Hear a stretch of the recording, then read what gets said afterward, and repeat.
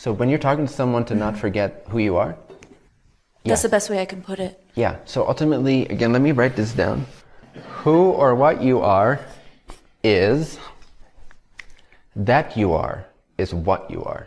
So when people ask like, yeah, who I am, and if we're talking about the more relative world and we're not looking for stability, we're just looking for more experience without any ground of stability, which some people like. Usually we call that spirituality. Um, then this doesn't matter. Like just pick whatever you want whatever you want to identify with or believe in, just pick that concept, whether it's a unicorn or a purple-legged creature in space or your uncle's lineage or Native American lineage or your body, whatever you want to choose, you can choose that concept that doesn't exist, right? But if we're talking about the stability of what's, what's really you at all times, all you need to know is that what you are, who you are, is it that you are. How do you experience that you are, Are while you you're talking asking to me? someone? How I can don't you- know. so can you can you maintain awareness of the fact that you exist? Make that more continuous while you're talking to someone. So I can talk to you right now and I can either get lost in descriptions and in whatever comes out of my mind. Because if I have a fear blockage, then naturally I will want to control what I say to you and how it comes back to me. So I'm going to completely be lost in description. If I don't care about any of that because I've released those fears, how do you release fears? By knowing what you are, ironically, and seeing what you're not till it dissolves. That's liberation, freedom. It's the fastest way to unclog your chakras. It's not to do chakra work, it's to know who you are. And that is by knowing that you are. Then you become better at it and better at it, and you just your whole system unwinds and relaxes, and this whole illusory nexus point of the ego knot just unties itself, unties itself naturally into the open basic state of love isness awareness, which is always already here. As a result, it becomes easier and easier. I can talk to you, but I can maintain awareness that I am. In fact, that I am can become my predominant focus, so it doesn't matter. I'm not actually speaking. This is just happening. There's an intelligence operating. I don't need to control it. If I was afraid what I said and how it would come across, then I would be the person speaking, and I wouldn't be able to speak so eloquently and so quickly because I would be thinking and controlling and comparing It's awesome. right? yeah.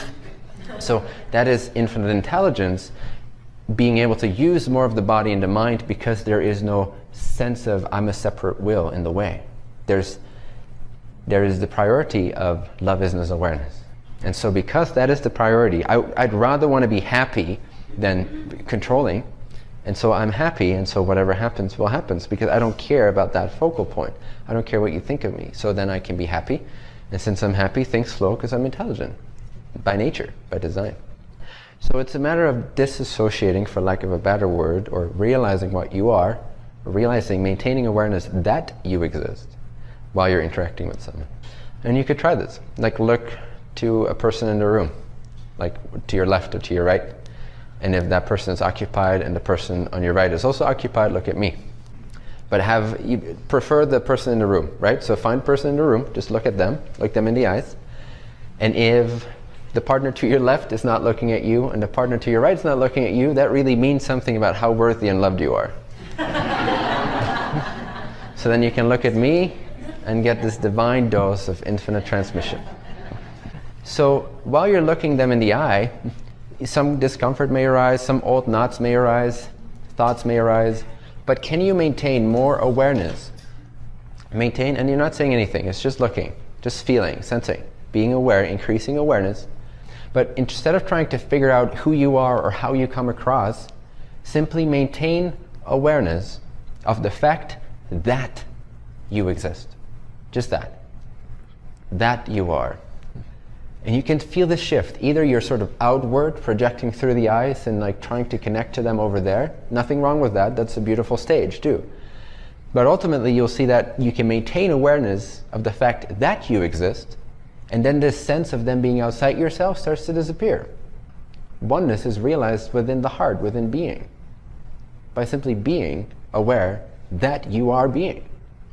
Now that you have this more locked, now that you're more locked onto it, say your name to the other person. I am, but maintain awareness that you are. Say it three times. I am, then your name, but maintain more awareness of the fact that you exist.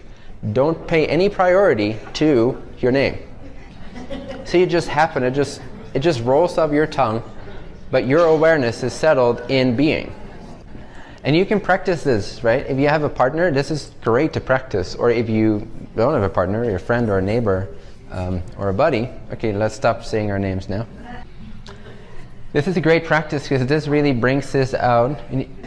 Everybody, face me again, please. we'll all go to Chocolate Tree after this so you can socialize there. And you know what's a good practice too? Is to see how quickly you forget to practice. That's the best part. You'll be surprised. In fact, it's now. See? That's how fast it goes. You just forgot. For the past five seconds, you forgot that you exist. Uh oh. With more practice, it becomes more continuous and automatic. Whatever you habituate becomes effortlessly obvious to you. Keep noticing that you are. Don't add any definitions. Don't add any ideas. Just the very basic, fundamental, experiential, before mind fact that you are. Because even before you state, I am, you already are, no? Be there. Be in the wordless recognition, I am. And then practice this with talking more and activities and driving your car and whatever it is. And it becomes stronger and stronger and stronger. It becomes this foundation and it starts to outshine the illusion of individual perceptions or beings or things. So it now it just, all you can see is your own light. Imagine being a light. The light turns up so much that you can't see anything that you're illuminating anymore. You just see the light that illuminated them to begin with. But that's what we mean when we say the world starts to disappear. You see their substrate, you see what they're made of. You know that you, your isness, is what they're made of, and you are so inundated with that that you don't even really see a world anymore. So practice. Then what reigns supreme is love, light, awareness, bliss. And infinity, a sense of not being local. And that really opens up the fears and the, if you will, energy centers. When you realize that you're not here, you are the infinite consciousness. This is just a dream. And you can't say that you're here or there or there or there. That's when those fear centers open up. And that's when expression becomes natural, effortless, and intelligent, and harmonious, and connected to the oversoul of this planet, Terry civilization. Now you become a channel slash mirror of the collective. So your vehicle is clean, so to speak. There's nobody there trying to control every little thing. You are the emanation of intelligence. Now you can really make a difference even though you're not really that concerned with it anymore. Because where's the world? There's only love, isness, awareness. But naturally it happens.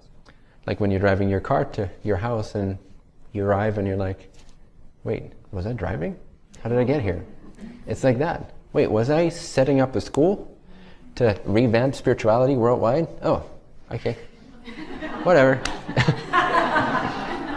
if you say so. I don't experience that without words, sensations, and images. I need to create that as a dream and then believe in it, to give it meaning, to feel like, yes, I'm creating this school.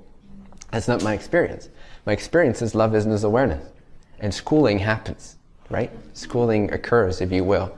But I'm not, I'm not tying myself to that. Why would I?